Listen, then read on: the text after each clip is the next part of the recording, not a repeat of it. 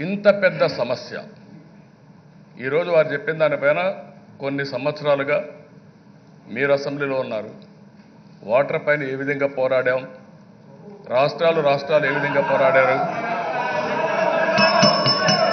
మీకు లా మీకు laughing stock గానే ఉంటుంది బ్రదర్ మీరు ఏదో గట్టిగా మాట్లాడితే మేము భయపడిపోతాం అంటున్నాం కానీ ఐదు కోట్ల మంది ఆలోచిస్తున్నారు.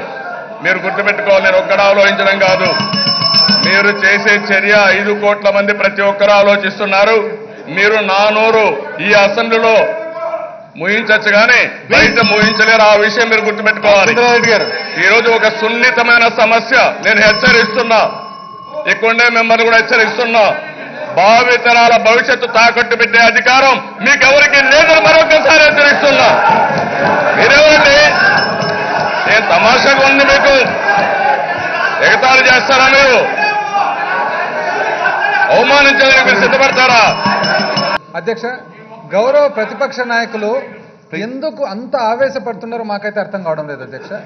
ముఖ్యమంత్రి గారు చాలా సింపుల్గా గోదావరి నది ఎక్కడి నుంచి వస్తుంది? నాసిక్ నుంచి మహారాష్ట్ర నుంచి ఎంత భాగం వస్తుంది? ప్రాణహిత నుంచి ఎంత వస్తుంది? ఇంద్రావతి నుంచి ఎంత వస్తుంది?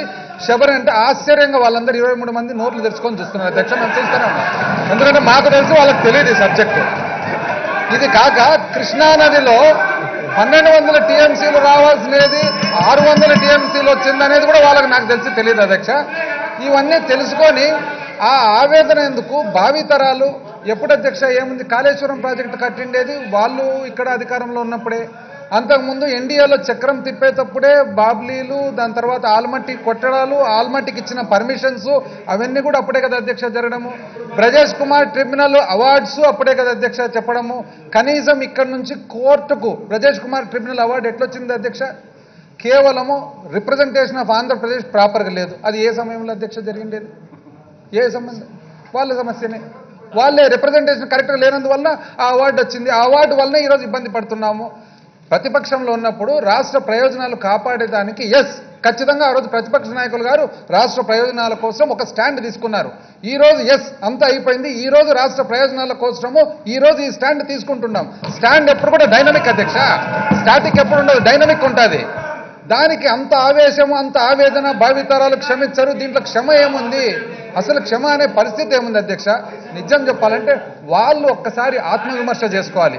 అవును నేను ఎన్డీఏలో చక్రం తిప్పేటప్పుడే కదా ఈ ప్రాజెక్టులన్నీ తయారైండేది.